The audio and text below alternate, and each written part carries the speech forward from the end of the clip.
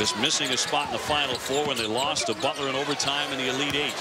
Sullinger again batted away by Walker has to go and get it. Working hard inside, up and in for two. Walker with the foul. Sullinger a 70% foul shooter in the moves, which he hopes to show us tonight. Well, right now. Freshman of the year last year, preseason All-American this year. In any argument here, bet how determined that kid is.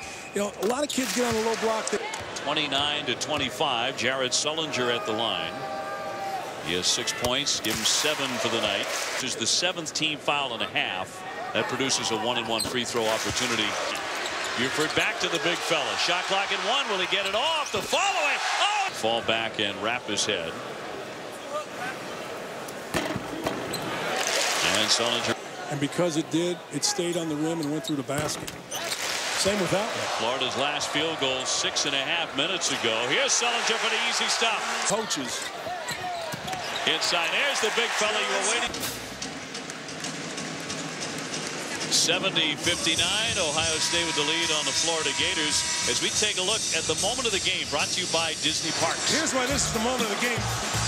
Florida went to a zone in a two-point game, and Billy Donovan's used zone before. One second on a shot clock. Jared Sullinger turns back.